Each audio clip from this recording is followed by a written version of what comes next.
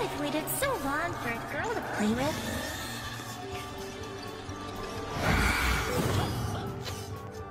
Wanna see my treehouse? Oh, not today, girlfriend.